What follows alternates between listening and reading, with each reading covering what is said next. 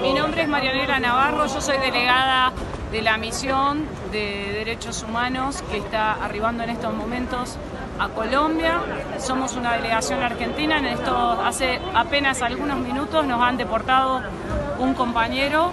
Este, es una clara decisión del gobierno eh, nacional de impedir eh, el trabajo de veeduría internacional y de resguardo de la vida que viene a cumplir esta delegación